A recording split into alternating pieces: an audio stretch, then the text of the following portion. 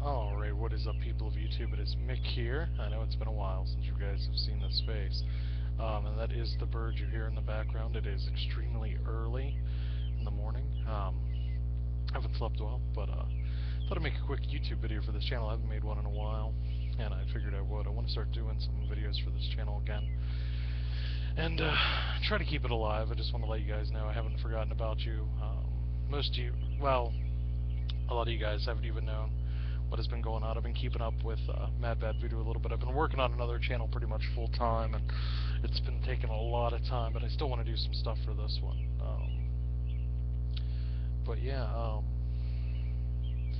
just been busy. Um, I did find out recently I'm gonna have to get my wisdom teeth out, which is not gonna be a whole lot of fun. You're definitely not gonna see any videos from me from that, neither will my other channels. So I'm hoping uh, two guys I'm working with they can kind of pick up a little bit on that, but. I just want to make a quick update video for you guys.